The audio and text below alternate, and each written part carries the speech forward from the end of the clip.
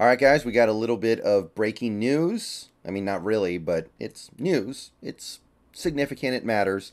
We finally got some details on the Jarran Reed contract, and I've been waiting for this for a while because to me this was uh, very going to be very telling on how I ended up feeling about the contract. So, just a little bit ago, overthecap.com updated. Spotrac still doesn't have it, but Over the Cap now does. Basically, it is a two year $9 million deals. So there are some incentives here. Apparently, there's like 1.8 million in incentives, uh, somewhere between one and a half to two million in incentives, basically. And this is okay, I think. Uh, if you take a look at it, 2023, we have a cap hit of just over 3 million. I was expecting something basically in that range. And then in 2024, the cap hit balloons up to nearly double, 6 million. However, there is only a $1.5 million dead cap hit for releasing him. So, looking at this contract, the way it breaks out, I think the way to look at it is this. This is basically a one year, $4.5 million deal that splits the 4.5 million across two years, with 3 million in the first year and then 1.5 million in the next year. So, it's almost like you could think about it like a void year I think, because the odds of Reed being on this team on a $6 million cap hit in 2024 to me are low. For him to do that, he'd probably have to meet his incentives. He'd probably have to meet the 1.5 million in incentives, and at that point, he'd be playing really well. And at that point, you'd probably be like, oh, well, okay, I guess he can stick around. He's worth the 6 million. But in all likelihood, I think what's going to happen is we are going to give him that 3 million cap hit for 2023 He's going to play out the year. He's going to be okay. He's going to be, you know, decent. And then in 2024, kind of like we did with Quinton Jefferson, we look at it and we go, okay, we can save four and a half million in 2024 if we release him, and we're probably going to do that. So one way to look at it, and this is the way I choose to look at it, is it's one year, four and a half million with a 1.5 million dollar void year hit. This is kind of our way of doing a void year hit without completely marrying ourselves to it. We give ourselves some flexibility to just keep the player if he shows out.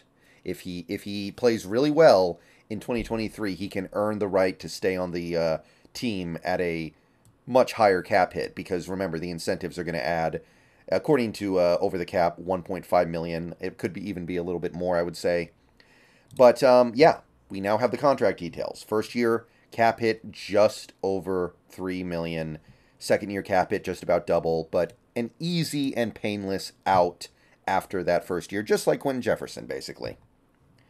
However, the 3.03 million is still a little bit more than I had in the chart that I posted this morning. So if you update this, you can see that things get a little bit more, things are a little bit tougher now. And at this point, Normally, you would say that two hundred fifty thousand dollars doesn't, or two hundred eighty thousand doesn't mean that much, but it kind of does, because now our cap hits, our our cap space after these four hits becomes just three million, and then the cuts get it to uh, less than six point four. Then the rookie pool gets us to over ten million over, over ten and a half million over, and then you know it it just every little bit adds up. The work you're going to have to do to get under the cap just went up by a little bit here. And hopefully we can make up the difference in like the Devin Bush cap hit. Maybe the Devin Bush cap hit is only three instead of four. That would help a lot.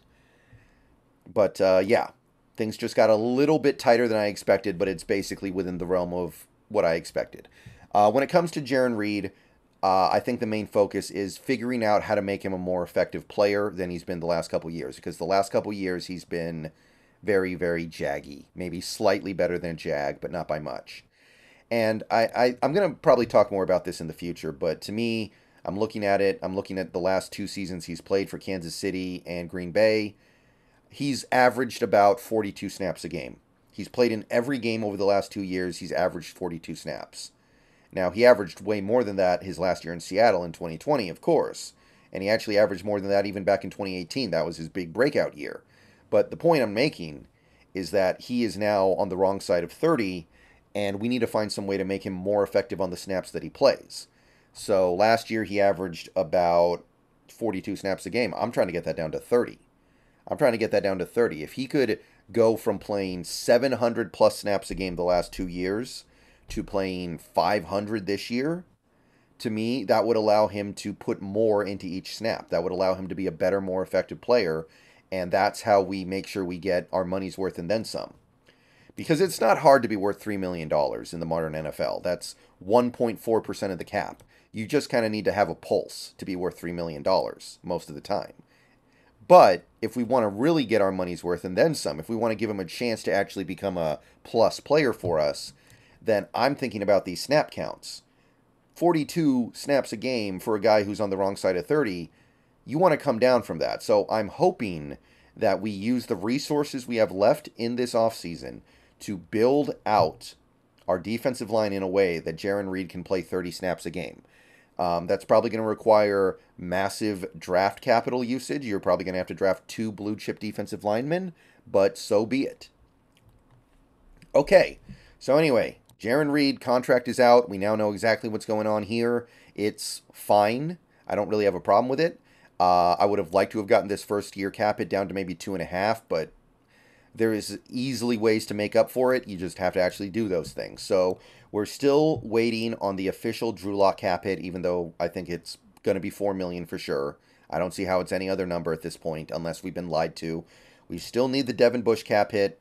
I've heard from one source who's I think like a Dolphins beat writer, not even like a Schefter or a Rapoport or a um, one of those guys, that it's four million. But I, I'm waiting for an official source, and I'm waiting for either OTC or Spotrac to actually update it and then you have the Julian Love cap hit, which I'm just estimating based off the two year, $12 million number we have.